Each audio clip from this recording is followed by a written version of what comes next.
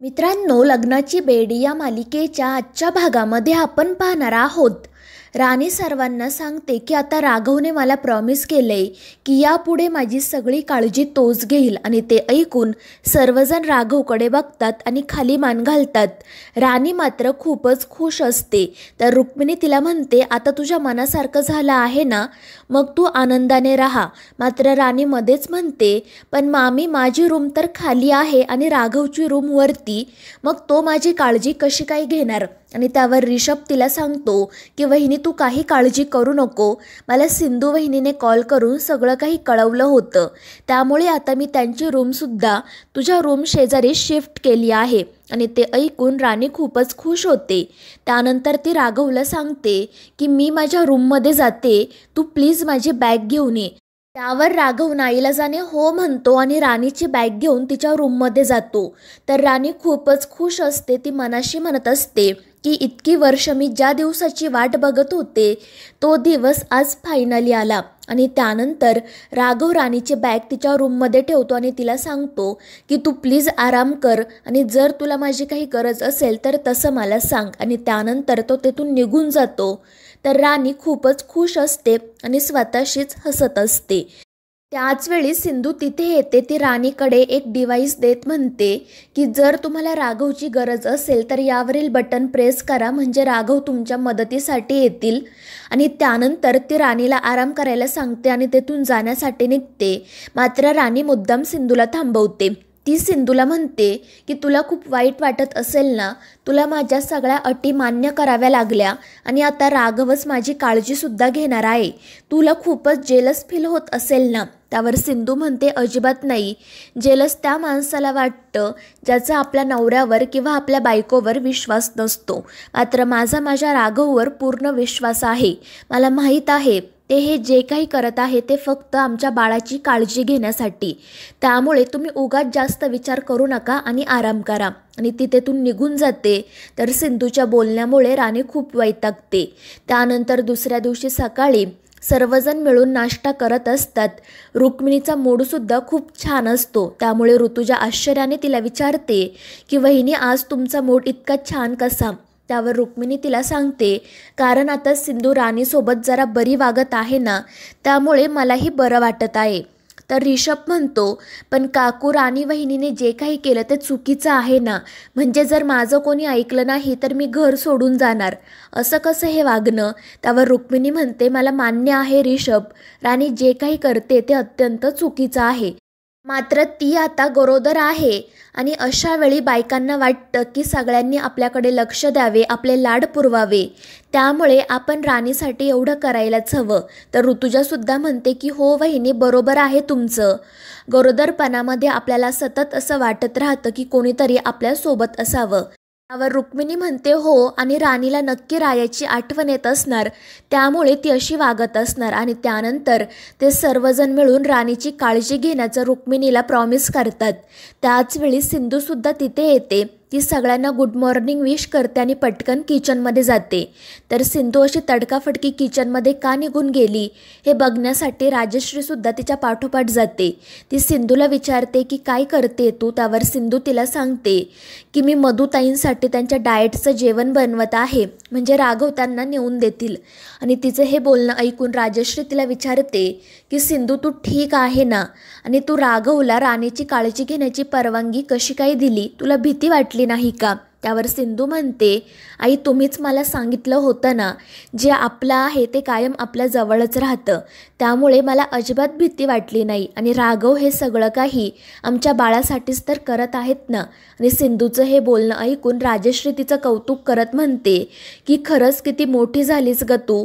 नाहीतर ती सिंधू जी सकाळी उठल्या उठल्या माझ्याकडे धावत यायची आणि मला सांगायची की आई मला हे हवं ते हवं. त्यावर सिंधू म्हणते आता मोठं तर व्हावंच लागणार ना कारण मी सुद्धा एक आई होणार आहे आणि तुमच्यासाठी मात्र मी तीच सिंधू राहणार आहे जी धावत तुमच्याकडे येईल आणि सगळं काही सांगेल. आणि ते ऐकून राजश्री प्रेमाने तिला मिठी मारते. त्यानंतर सिंधू नाश्ता घेऊन तिच्या रूममध्ये जाते आणि राघवला सांगते की तुम्ही मधुताईंना हा नाश्ता द्या. आणि त्याचसोबत तिला कोणत्या गोळ्या द्यायच्या हे सुद्धा सिंधू राघवला समजावून सांगते आणि तेथून जाण्यासाठी निघते. मात्र राघव तिला थांबवतो. तो सिंधूला म्हणतो की मला माहीत आहे या सगळ्या गोष्टींचा तुला खूप त्रास होत असणार. तुलासुद्धा वाटत असेल ना की आपण आपल्या बाळाजवळ राहावं त्याची काळजी घ्यावी. मात्र मधू हे होऊ नये म्हणून मुद्दाम नाटक करते आणि मला हे अजिबात आवडत नाही. आणि त्यानंतर तो लगेच राणीसोबत बोलण्यासाठी निघतो. मात्र सिंधू त्याला थांबवते. ती म्हणते की राघव तुम्हीच मला सांगितलं होतं ना की आत्ता आपल्या बाळाची काळजी घेणं सगळ्यात जास्त महत्त्वाचं आहे. त्यामुळे मधुताईंना जसं हवं आहे तसंच आपण करू.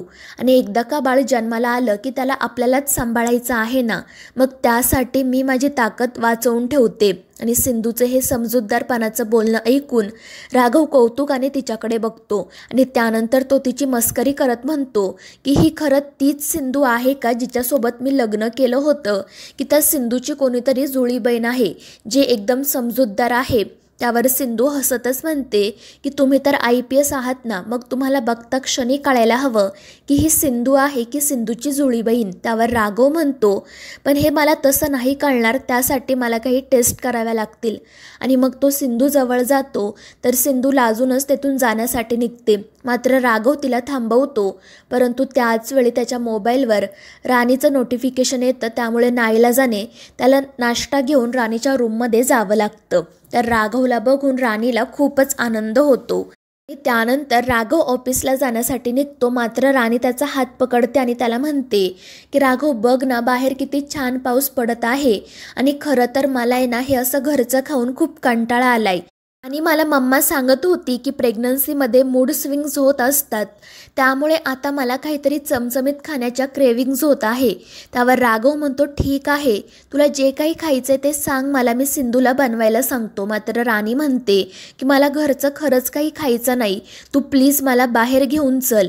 आणि त्यामुळे नाईला जाणे राघव राणीला बाहेर घेऊन जायला तयार होतो. थोड्या वेळानंतर ते दोघेजण बाहेर जाण्यासाठी निघतात. आणि ते घराचा दरवाजा उघडतात त्यावेळी समोर एक डिलेवरी बॉय उभा असतो आणि त्याच्या हातामध्ये एक बॉक्स असते. आणि ते बॉक्स तो मधूकडे देत म्हणतो की हे पार्सल महाराष्ट्र वडापाव सेंटरमधून आले आहे. यात वडापाव समोसा पाव भजी पाव आहेत. आणि ते ऐकून राघव खूपच खुश होतो. मात्र मधू आश्चर्याने विचारते की हे सगळं कोणी मागवलं? आणि त्यावर तो डिलेवरी बॉय मोठ्याने म्हणतो मी. कारण तो डिलेवरी बॉय नसून सिंधू असते. आणि तिला बघून राघवला खूप हसू येतं. राणीला मात्र धक्काच बसतो. त्यानंतर सिंधू राघवला सांगते की मला माहीत होतं अशा वातावरणामध्ये मधुताईंना काहीतरी चमचमीत खाण्याची इच्छा नक्की होईल. त्यामुळे मी आपल्या सगळ्यांसाठीच हे ऑर्डर केलं आहे. आणि ते ऐकून राघव खूप खुश होतो. त्यानंतर सिंधू सर्वांना आवाज देत बोलावून घेते. आणि मग ते सर्वजण गप्पा मारत आनंदाने नाश्ता करतात. आणि सोबतच एक पिक्चर बघण्याचं देखील ठरवतात. मात्र या सगळ्यामुळे राणी खूपच नाराज होते. ती मनाशी म्हणते की मी कितीही प्रयत्न केला तरी ही सिंधू हार मानणार नाही. त्यामुळे आता मलाच काहीतरी मोठं करायला हवं. तर मित्रांनो या मालिकेच्या पुढील भागांमध्ये आपण पाहणार आहोत. राणी मुद्दाम राघवला म्हणत असते की चल मी तुला डान्स शिकवते. मात्र राघव त्यासाठी नकार देत असतो. परंतु त्याच वेळी सिंधू तिथे येते आणि ती राघवला म्हणते की राघव करा तुम्ही डान्स. आणि त्यानंतर मग मधू आणि राघवसोबत सिंधूसुद्धा डान्स करायला सुरुवात करते. आणि मग त्यानंतर तर सिंधू आणि राघव दोघी मिळूनच डान्स करतात. त्यामुळे राणी खूप चिडते. तर मित्रांनो या मालिकेच्या पुढील भागांच्या अपडेट्ससाठी आपल्या चॅनेलला सबस्क्राईब करा.